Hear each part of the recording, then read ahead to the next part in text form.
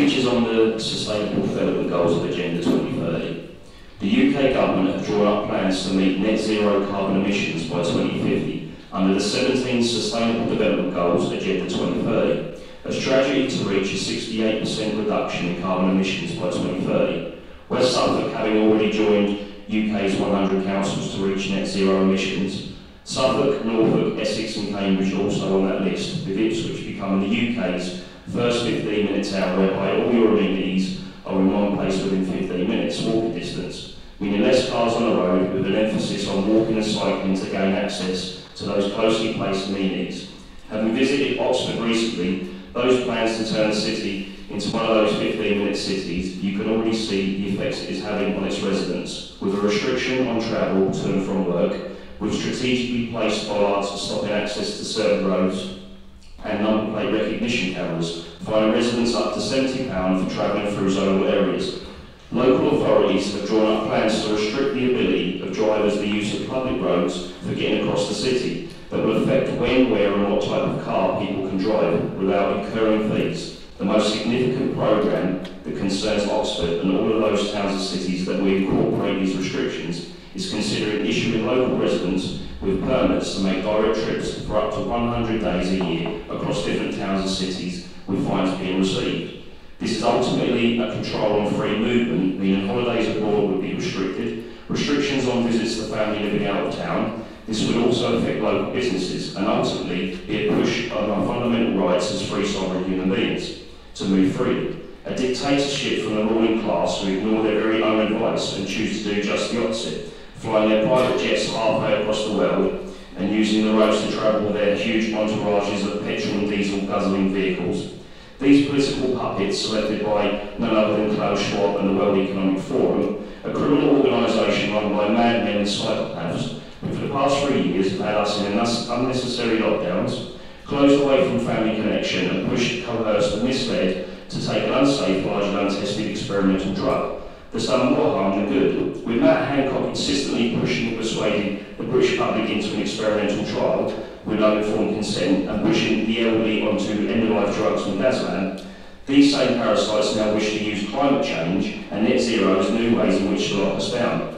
As a Bury resident, I want to know that my children's freedoms and futures are protected by the councillors present, who are here to serve us, the people, and keep our best interests at heart.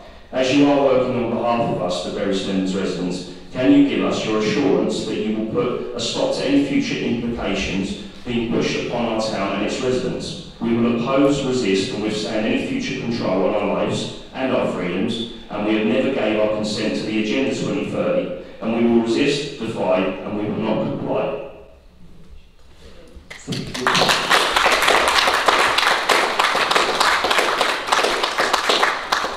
Firstly, I have to say that I know very little about the 20-minute neighbourhoods, but I know a little bit more having read this document, and I would recommend anybody to get hold of it. It's by the Town and Country Planning Association. Councillor Drummond, could you please get closer to the microphone? Yes, okay. So, if you haven't read it, get hold of this document. West Suffolk Council is proud of the commitment we've made to addressing the very real challenge of climate change, something that's in even sharper focus now given yesterday's report released by the Intergovernmental Panel on Climate Change, that's IPCC, the United Nations body for assessing the science related to climate change. That commitment is very transparent through our declaration of a climate emergency, the production of an action plan and the annual monitoring of the plan and our environmental performance that's reported to Cabinet with the papers being published on our website.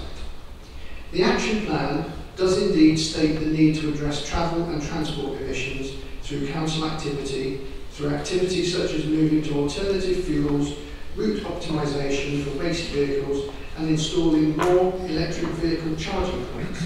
But let me be clear, we're only looking at the scope 1, 2 and 3 emissions as they pertain to this council. This council does not propose evaluating or rolling out the 20-minute neighbourhoods. Moreover, West Suffolk Council is also a partner in the Suffolk-wide Suffolk Climate Emergency Plan. And again, that plan recognises the need to address transport emissions. It's publicly available on the Green Suffolk website, and again, transparent in its objectives and actions. That plan states that transport accounted for over 35% of Suffolk's CO2 emissions in 2018, and tackling this means fossil fuel vehicles need to be removed from our roads. The focus will predominantly be on promoting electric vehicles until other emission fuel, emission-free fuels are available, but this does not mean replacing all vehicles. Suffolk is looking to reduce transport demand and encourage a shift to less carbon-intensive modes such as walking, cycling and public transport. As a rural uh, county, this is going to be very challenging, but again, our state, we have no plans for 20-minute neighbourhoods. I would now like to move on with uh, speaker number, our second speaker, Robert Hayes. Robert, you have raised a question or statement. Um, a statement, please. Okay. Um, the same is Sade.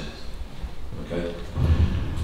Okay. Um, well, my question initially was, um, what is your understanding of the origins of Agenda 21 and Agenda 2030 and the 17 Sustainable Development Goals? And this statement is basically around the fact that this is not a local development plan. What we are seeing is very, very slowly rolled out across the world as part of an orchestrated and deliberate control mechanism. This, in my opinion, was a planned economic collapse, ultimately leading to digital ID and, and central bank digital currency. The idea around the control mechanism was initially put forward by a Masonic think tank formed by David Rockefeller in 1968 in Italy. It was known as the Club of Rome. The clan consisted of a collection of politicians, bureaucrats, government officials and big business. Names such as Rothschild and Soros, basically a club for the Western elites. Their aim was to steer public opinion over the next 50 years. A quote from the Council of the Club of Rome. The need for enemies seems to be a common historical factor. States have striven to overcome domestic failure and internal contradictions by designating extreme enemies.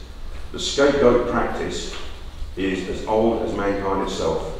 When things become too difficult at home, divert attention by adventure abroad.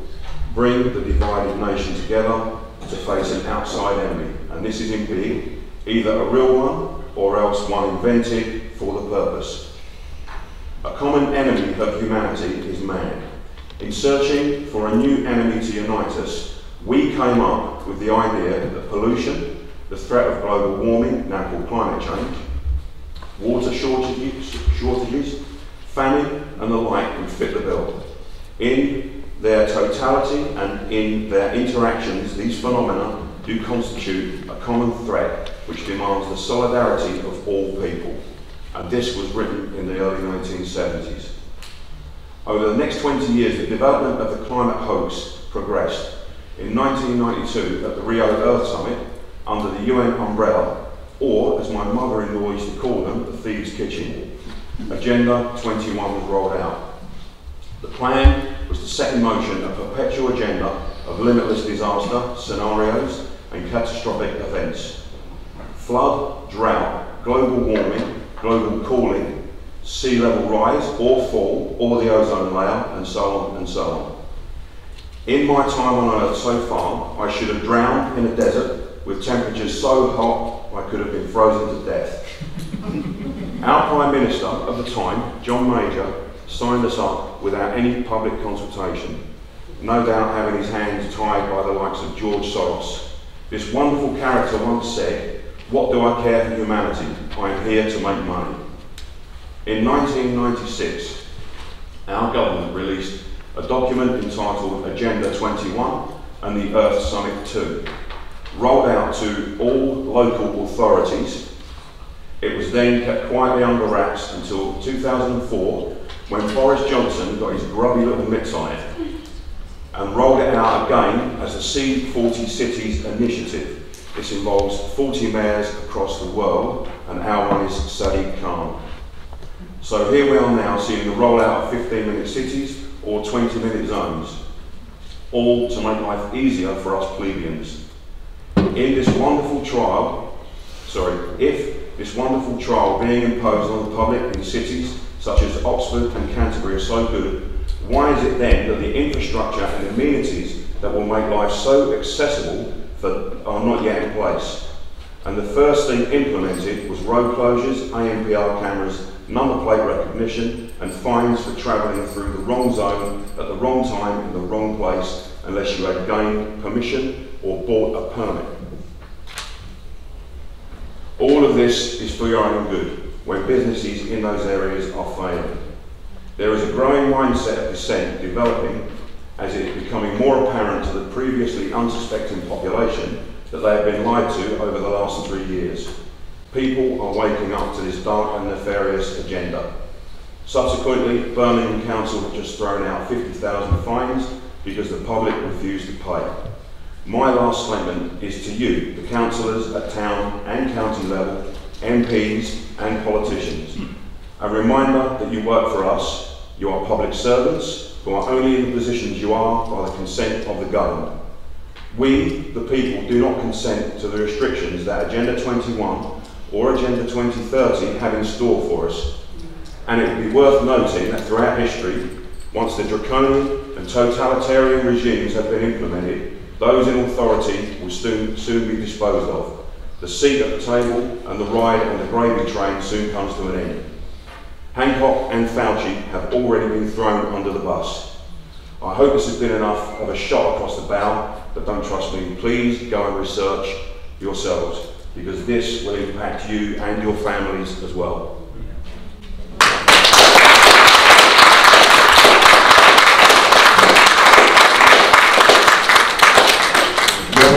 Your statement. Now, is the statement, um, I'm not sure if there's any points there you'd like to respond to, Councillor Drummond. Yeah. I have a prepared reply, um, so I'll take that as a question. Um, I'm sure that many of us who've been involved in public service over the years will be aware of the different policy approaches that have been used to address um, the environmental challenge. Okay? So the reference Mr Sayers has made relate to international approaches, the United Nations moving from Agenda 21, coming from the Earth Summit in Rio back in the early 1990s, to current Sustainable Development Goals, SDGs, effectively an international call to action to end poverty, protect the planet and ensure that by 2030 all people enjoy peace and prosperity. And of course, we have our own policies in the UK that the government has put in place and these direct the work at district level. So that's where we are. Thank you. Thank you, Councillor Drummond. We move on to the third speaker, uh, Smith. Good evening, councillors, ladies and gentlemen. Let me begin by saying I was impressed with the environmentally friendly Mildenhall Hub with its green credentials, which I visited for the first time a couple of weeks ago. We were shown around by an understandably proud strategic director. Thank you, Alex. Okay, this is the, the question which I uh, put forward yesterday. As a resident of Bury Town, it concerns me somewhat to find out that West Suffolk Council, along with Suffolk County Council, Norfolk and Cambridge councils, have all signed up to the UK 100 organisation, whose members have, and I quote, pledged to deliver a net zero future. As part of that pledge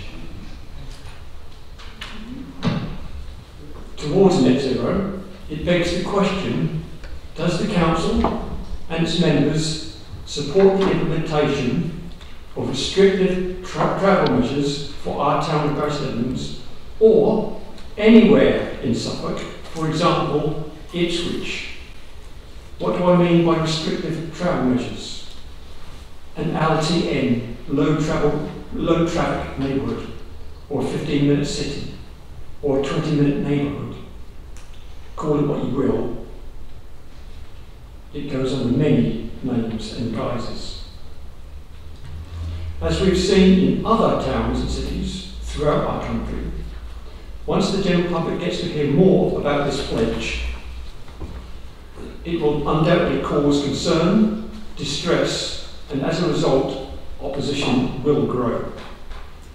If an LTN or a 20 minute neighbourhood is considered and unwisely acted upon and brought to fruition, this will affect everyone, from individuals able and disabled, families and businesses. I hope that all concerns, all, all councillors present at this meeting here tonight share these concerns. Please do not support this government-sponsored proposal for LTNs. I believe many behind me here tonight share these concerns. Thank you for listening to our concerns.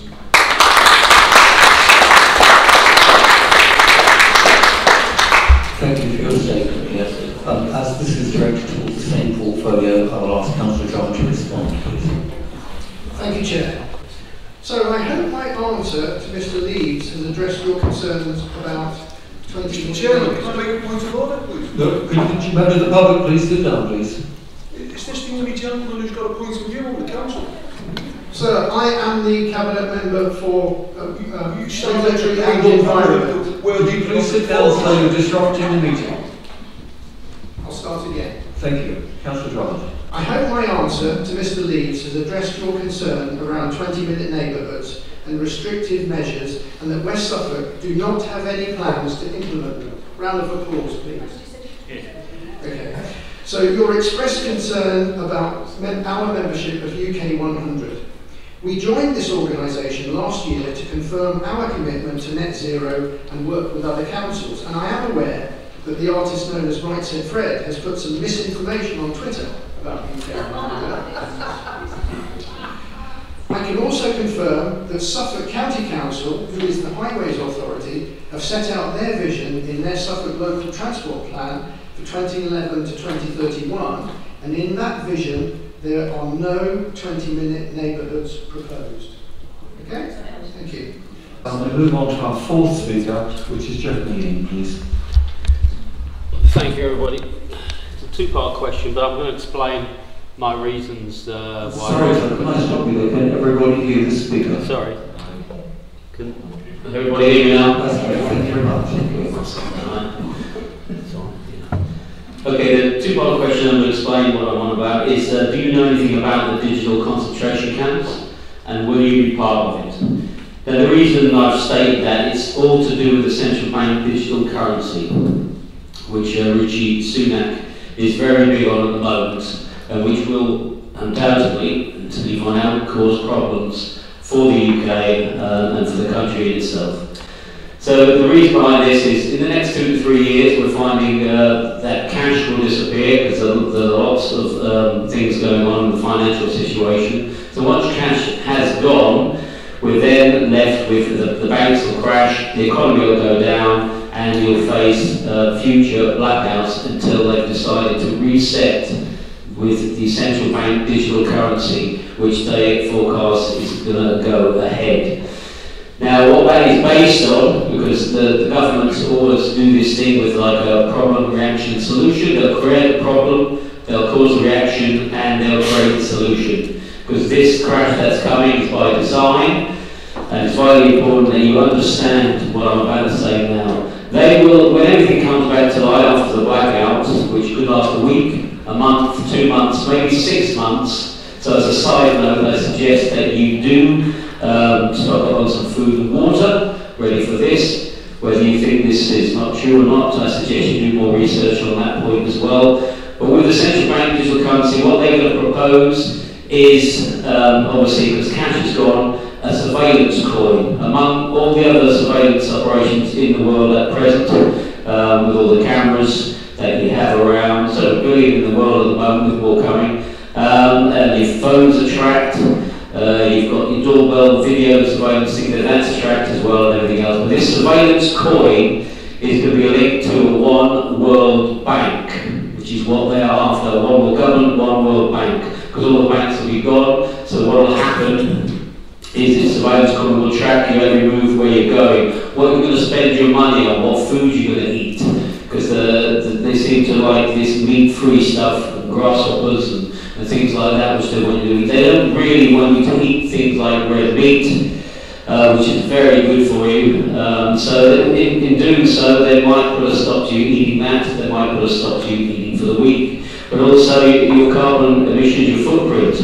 If that's too high, then they might lock you down for a week. Basically, this is a tracking device and it goes on a social score, which when the internet was invented, or first come about, I should say, they've been tracking our behaviour since it started. Now, if your score is very low, you're not going to get much in the way of probably the way you eat or being allowed out and things like that. And the fact, if, like a couple of people said here, the speakers, about the trials, um, if they were to go ahead, uh, the 20 zones and the lockdowns, uh, sorry, the 50 new cities, we are partially in a lockdown, so this central bank digital currency, or the digital concentration camp, as it's known, uh, will be enforced and it will just cause absolute carnage. And if that is what you want to be tied into, because that will be total enslavement at the highest level. And if you don't believe what I am talking about, you've only got to look at China, you've only got to look at Israel, and more recently, that law has been ratified by that awful man in the USA, Joe Biden. So I suggest you look into that, and as my last second part of the question was, will you be part of it? Thank you.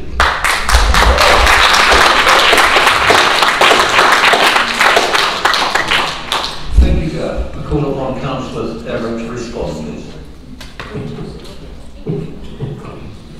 Thank you very much indeed. Is it Mealing. Mealing, my apologies, uh, Jeff, Jeff Mealing. Thank you for your question and statement. Um, in truth, and to your question, um, we did we did not know about um, digital con- concentration camps until I started reading online um, when I realised I would be answering this question. Um, and, but we are now, and we thank you very much indeed for bringing it to our attention. Um, so I think you probably asked your supplementaries. I'm going to move straight on to that if I may. Um, this council wasn't aware, but we are now. And on that basis, um, we will make sure that we appraise ourselves of what was um, what you told us. And uh, I went online um, just a little while ago this evening, and on there, um, it's it's out there, um, which I didn't know, but it is out there. Um, digital con- concentration camps, and the bit I pulled, pulled up, which was I think probably in the, in the mirror, it says Vladimir Putin, Putin was planning to turn Russia into a digital concentration camp, where people will be forced to wear our, our QR code handcuffs. It has been claimed. There's a lot of claiming going on here. The vast majority of people will be forbidden to leave their own locality, nearly there, and if the plan, if the plan comes to fruition, there will be uh, major issues in Russia, I. So, um, I'd like to say thank you very much indeed for bringing to our attention. Um, we will keep an eye on it. We are representatives, as you said, of you, our residents. Um, all of us stand for election. We put ourselves forward for election. We do it willingly, and we try to do our best. And we're not central government, we're not MPs, we are local councillors, your local councillors. So all we can do is try our best to make what you determine might be happening um, um, a fantasy rather than actuality. Um, but we are only local councillors. Thank you very much for being here and bringing it to our attention.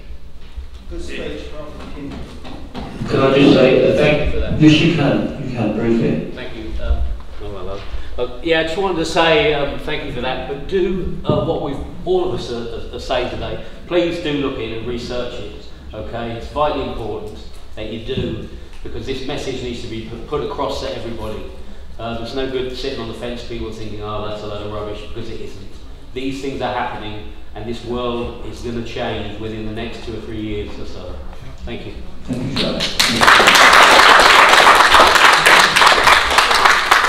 And now we'll move on to our fifth and final speaker, Ellie Pascali. Um, my question was, I'd like to know what health and safety risk assessments were done before the installation of 5G towers in Bury St Edmunds, Suffolk, Norfolk, and beyond.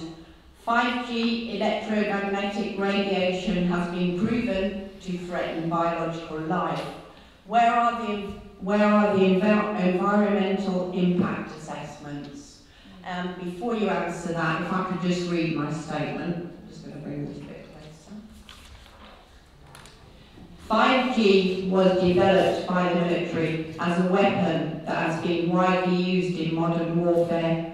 Not only used by them, but the police as well. Directed energy weapons, or DEWs, and scanning radar, used to target undesirable individuals with directed energy beams, which are designed to maim or kill them and the scanning radar has the capability to see through walls. It is a wireless system and as such emits invisible radiation that causes harmful biological effects to all life on Earth. It is toxic to humans and thousands of studies done show that electromagnetic radiation, or EM, can cause the following. DNA damage, infertility, immune system suppression, chronic fatigue, memory problems, heart issues, neurological issues, cancer and many more debilitating diseases. Tumours of unknown origin are on the increase. No one is immune to this, including you sitting here today. Your children and your grandchildren. This will affect them as well. 5G towers have been erected everywhere, and basically we're living in a microwave oven. Research scientists have also found that there has been a significant increase in the deaths of insects, including bees, which we need to keep us alive, birds, frogs and other wildlife. Patches of forests have also been decimated, including the Amazon, those in power will tell you that 5G is safe, but this is not true. They are lying. It has been installed with no proper human safety and health testing, with no environmental impact assessment. Regulators have ignored the scientific evidence of harm, and this is not acceptable. Scientists and doctors have raised concerns about the harmful effects of 5G to governments, industries and international organisations such as the World Health Organization, or the WHO, and the United Nations, or UN. All appeals are being blatantly ignored with 5G technologies being installed worldwide, all to connect us to the Internet of Things. Certain 5G technologies can cause fatigue to materials including buildings and aircraft. Boeing and Airbus have also raised concerns about the potential dangers of 5G on passenger aircraft. Alarm bells are ringing globally, yet still the installation of 5G towers continues and it will lead to catastrophic events. 5G is not sustainable consumes massive amounts of energy from the electricity grid. One cell tower alone can have the capacity of 600,000 microwaves. This is very scary, and soon to follow will be 6G and then 7G. 5G is uninsurable, hackable, weaponized technology that threatens not only our very existence, but the life on beautiful earth as we know it.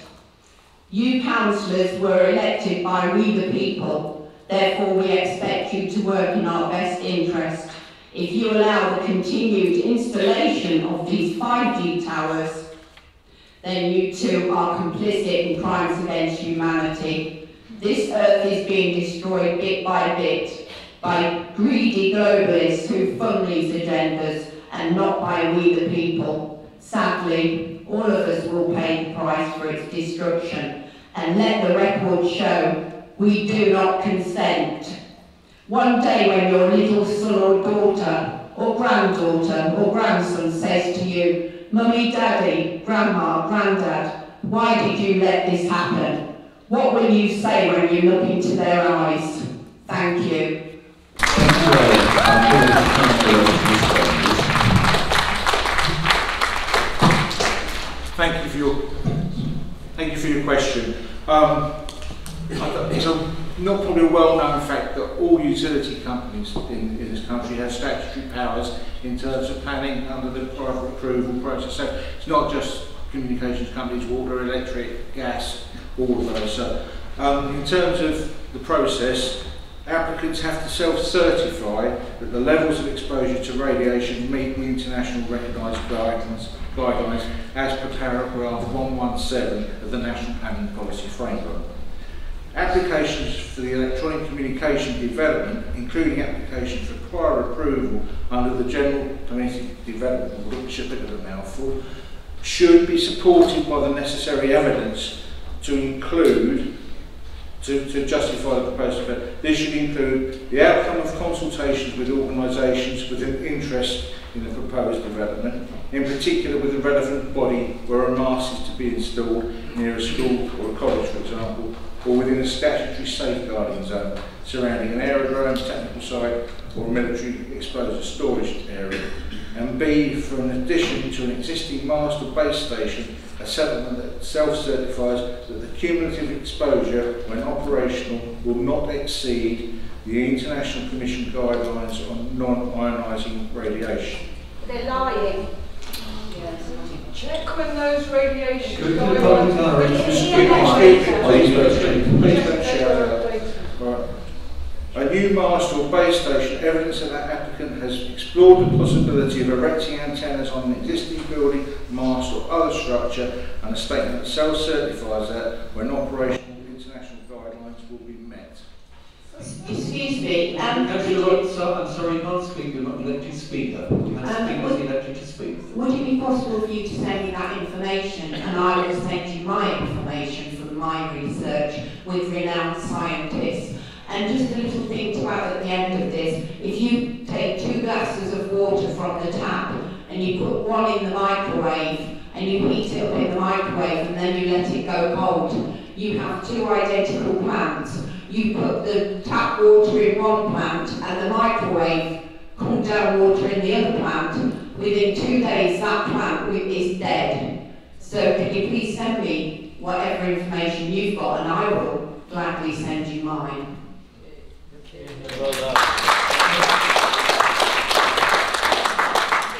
Councillor Roach, do you wish to respond to that? Well, If you, if you send me, if you email me directly with some information, I will get back to you. Right. Right, thank you, Ellie, for that.